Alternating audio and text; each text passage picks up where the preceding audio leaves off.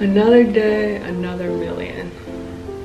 Guys, if I'm being completely transparent, it's Friday and I feel tired, like I'm exhausted. Um, it's those days when it's like you really don't want to do anything. Like I could literally lay down in my bed right now, but you just continue, you have to push through. You gotta keep going no matter what it is. This is where discipline comes in. And even though you don't want to do the things, you still do them. So, you know, I think people think that when they see you post on social media that like you're always motivated or just in general, they may think they see these higher level like individuals, not saying I am because I am constantly learning and stuff, but like when we see bigger people like Grant Cardone or these big investors and stuff, we think that they're always motivated, which no, it's not the case. They just rely so much on discipline. And yeah, it's just a sign to continue to keep on going, keep on pushing, even if you don't feel like it. So today I'm currently at the office. I actually have to scan um, some insurance documents for this four unit we're closing on next week. So I actually just scanned it. We don't have a printer in the office, so I'm gonna give you guys a little gem. Um, if you have an iPhone, I don't know if they have this on Android, but there's an app called Cam Scanner. So it's C-A-M and then Scanner. It's like green, it has like a green color. Um, this is not no promo or anything. This is just, I found this in the beginning stages of when I got my real estate license and realized like I had to scan a lot of documents whenever like for offers or whenever just in case when I have documents and stuff. And this thing came in handy so much. I think it's like $60 a year, but the best thing, like I use this all the time. So I need them to sponsor me, honestly. Um, but yeah, so I just scanned these, so I gotta email it over to um, our insurance agent in regards to that. But today is just going to consist of um, calls, follow-up calls, probates later on today, uh, emails. I do have to, Skylar was thinking of changing something within the probates, like having them say a different thing. So gonna look into like different wordings of what we can do to um, kind of switch up the lingo in regards to our probate letters. Um, oh, what else do I have to do? I gotta go check on our property just to see like what the update is with that because we got to get a new draw but we got to be done with this property. It's been a little bit now and we need we need the money. Get this thing rented as soon as possible. So that's the game plan for today. So yeah with that being said gotta hop into my computer here and get to work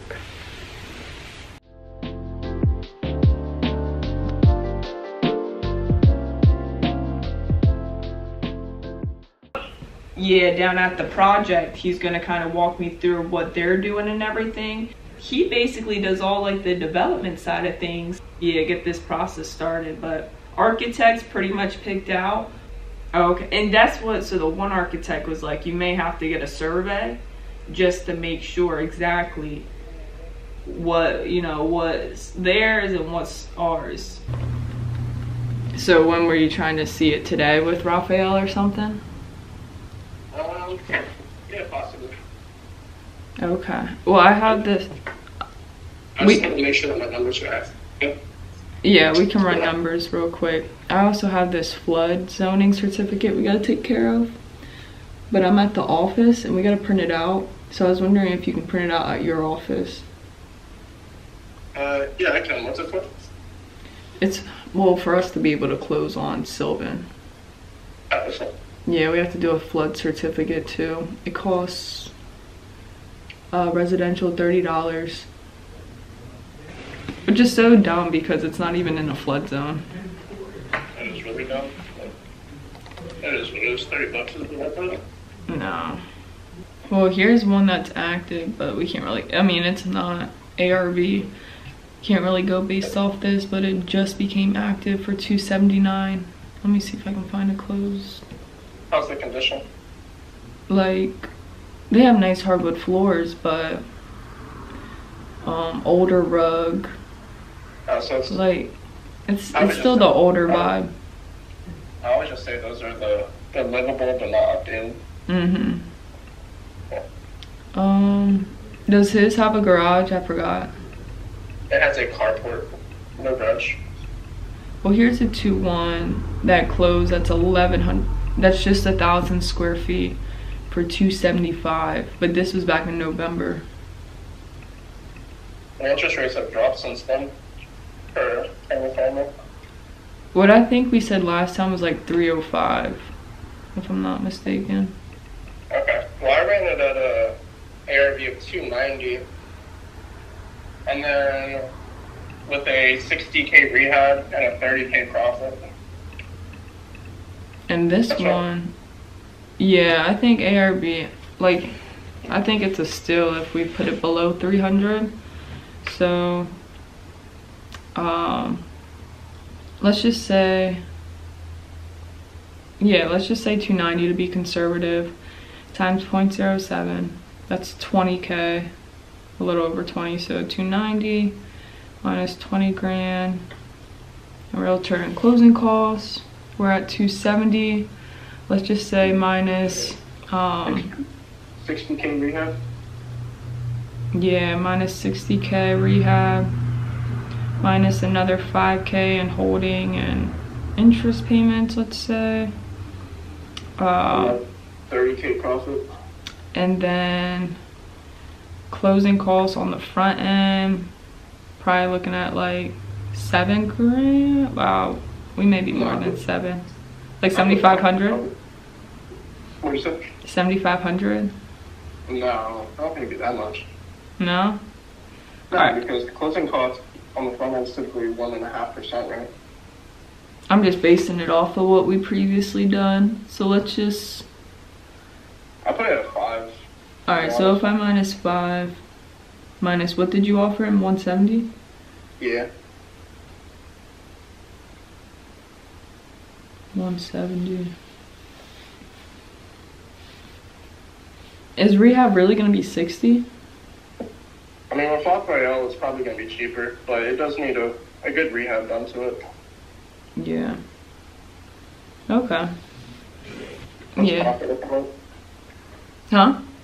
What would your number come out to? Uh, all in was like 200, so it'd be uh, it'd be 30k profit. But yeah, you wanna just let me know what Raphael says. Oh, my shoulder just cracked. Did you hear that?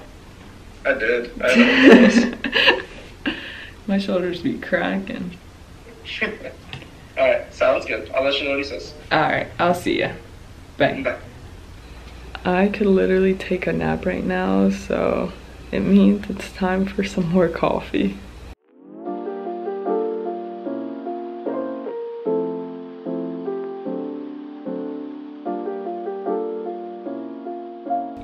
Hey, you at the property? Nah, I'm, I'm, pull, I'm about to be pulling up there now. We, we leaving, uh, I'm gonna get some food, Leave my Home Depot. But when I come back, I'm putting that vanity in. The toilet's already in. That kitchen sink is in. So it's just it pretty much going to be like touch ups everywhere. Cause um, we can do probably like we can do probably cause what it's a little over like three grand left. Yeah, it was like 38. Let me see. That should be enough for the whole, the rest of the project. You think, right? And then once you're done, give the you get the rest. And I'll be able to have some finishing touches and stuff like that down on that first floor and then that second floor. It's just the flooring on the second floor for real. Okay. that- that- We're not about to go in the property right now, which is cool. I can send y'all. I'll add a video up here so y'all can see the update of what it looks like. Um, since he just sent me a video. So, you know, it's the cabinets right now.